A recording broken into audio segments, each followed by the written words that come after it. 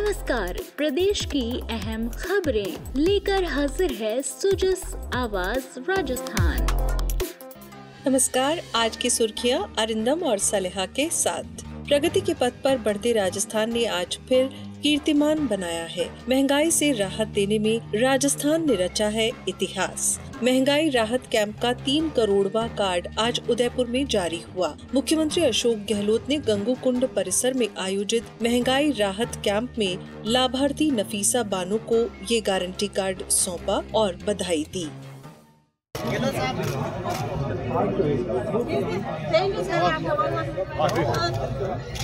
sir.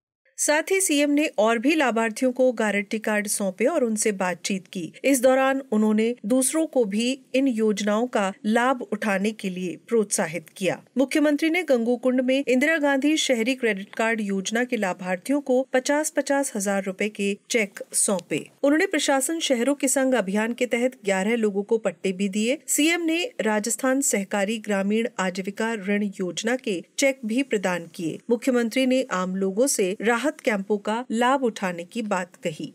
इसके साथ ही आपको ये भी बता दें कि अब तक तीन करोड़ दस लाख तिरपन हज़ार से ज़्यादा गारंटी कार्ड बांटे जा चुके हैं और अड़सठ लाख छियासी हज़ार परिवार लाभान्वित हो चुके हैं। मुख्यमंत्री महँगाई राहत कैंप और प्रशासन शहरों के संग और गाँवों के संग अभियान के तहत लग रहे शिविरों का लगातार अवलोकन कर रहे हैं। इसी सिलसिले में मुख्यमंत्री आज मावली पहुँचे। उन्होंने मावली को नगर पालिका बनाने की घोषणा की। तो मैंने अभी लड़कियों के जाने से कॉलेज जो थी अंडर ग्रेजुएट बी उसको मैंने करने की घोषणा कर दी है। एक मांग आपकी है मावली पंचायत समिति, ठीक है तो मावली के साथ में खेमली दो अलग अलग पंचायत समिति बने। मैं घोषणा करता हूँ कि दो अलग अलग पंचायत बन जाएगी। गाथा और इटाली पीएचसी को सीएचसी दोनों मांग कर लिए पीएचसी को सीएचसी दोनों बनाने की भी मैं घोषणा करता हूँ। मावली के बागोलिया बाँध, इसके लिए मैं डीपीआर बनाने की घोषणा करता हूँ। डीपीआर बन जाएगी।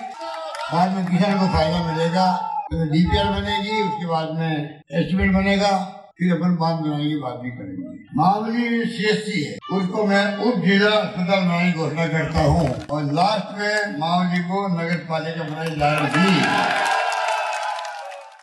इसके बाद मीडिया से बातचीत में सीएम ने कहा राजस्थान का महत्व बढ़ता जा रहा है। बढ़ना चाहिए जो मैं कह रहा हूँ 2030 हमारा टारगेट होना चाहिए प्रदेशवासियों का मेरा अकेले का नहीं। हज़ार तीस तक हम सब मेहनत करें, अपने अपने कर्तव्य पूरा करें, हर वर्ग के लोग, आम जनता सहित, जो जहाँ ज़िम्मेदारी पद पे है, छात्र है, युवा है सरकारी गैर सरकारी कर्मचारी है, अधिकारी हैं, एनजीओ है, धर्मगुरु है सब तय कर लेंगे। अगर प्रदेशवासी खड़े हो जाते हैं सब मिलके तो सब कुछ सफलता कदम चूमती है।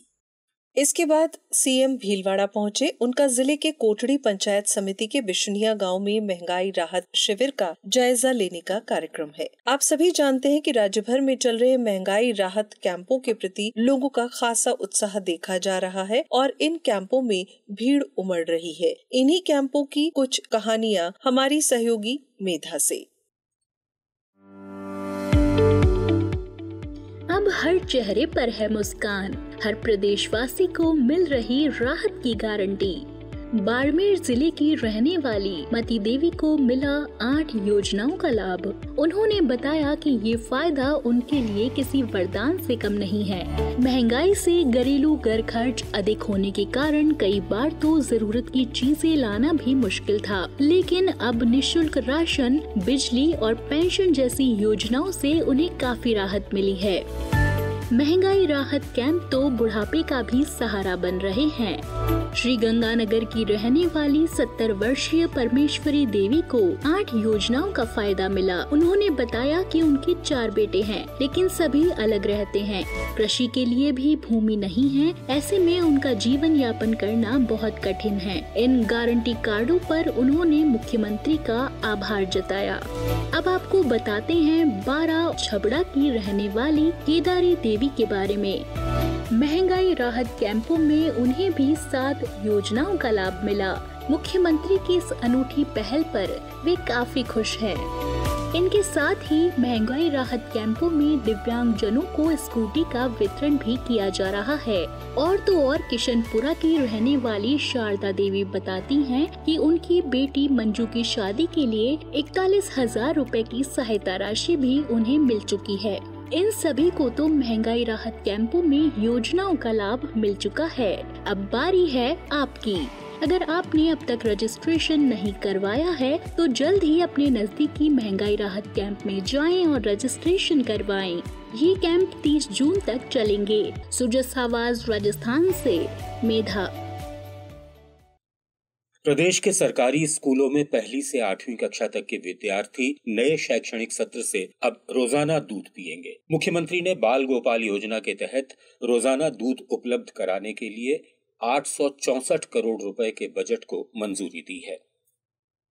विद्यार्थियों के पोषण में वृद्धि और आवश्यक मैक्रो और माइक्रो न्यूट्रिएंट्स की पूर्ति के लिए मुख्यमंत्री बाल गोपाल योजना 29 नवंबर 2022 से शुरू की गई थी। इस योजना में कक्षा एक से पाँच तक के विद्यार्थियों को 150 एल दूध उपलब्ध करवाया जा रहा है। इसके साथ ही कक्षा छह से आठ तक के विद्यार्थियों को 200 मिलीलीटर दूध का वितरण किया जा रहा है।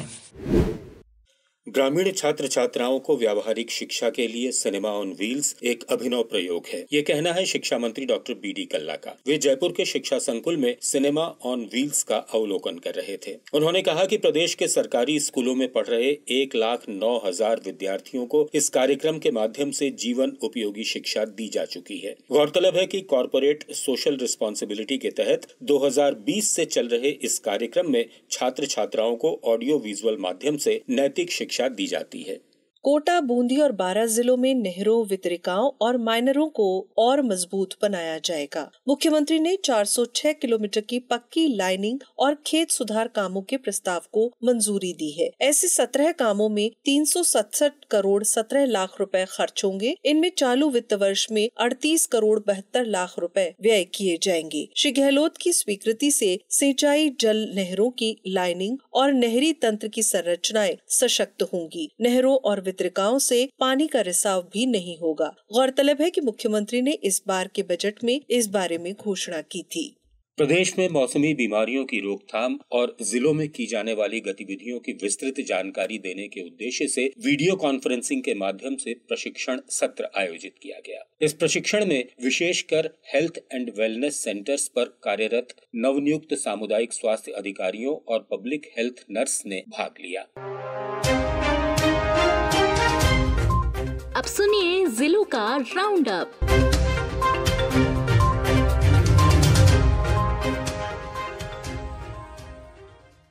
नागौर के डेगाना में मिला लिथियम का भंडार। भारतीय भूवैज्ञानिक सर्वेक्षण ने कहा है कि इससे देश में लिथियम की 80 प्रतिशत मांग को पूरा किया जा सकता है। देश में लिथियम के उत्पादन से इलेक्ट्रिक वाहनों की लागत में भारी कमी आने का अनुमान है। अजमेर ज़िले में काजीपुरा की गंगा वैभव घाटी को पर्यटन स्थल के रूप में विकसित किया जा रहा है।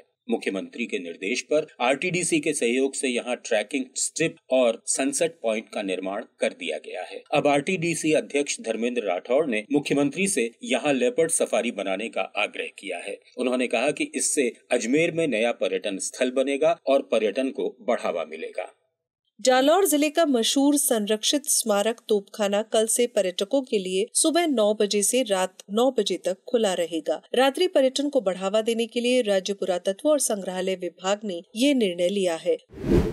पाली ज़िले के रोहट पंचायत समिति के दो गाँवों सिंधरी और दूधली के आंगनबाड़ी केंद्रों तक बिजली पहुँचा दी गई है। इससे बच्चों और महिलाओं को बड़ी राहत मिली है। महिला और बाल विकास परियोजना के कार्मिकों ने प्रशासन गाँव के संघ शिविर में ये समस्या बताई थी। इस पर उपखंड और विकास अधिकारी ने तत्काल कदम उठाया और बिजली निगम ने विद्युत कनेक्शन देकर मीटर लगवा दिए।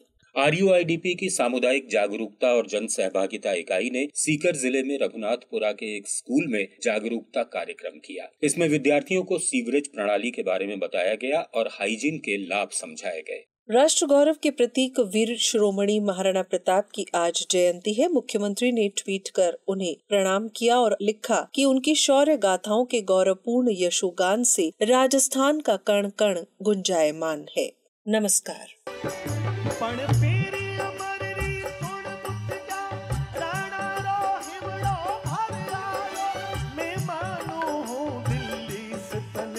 सम्राट संदेशो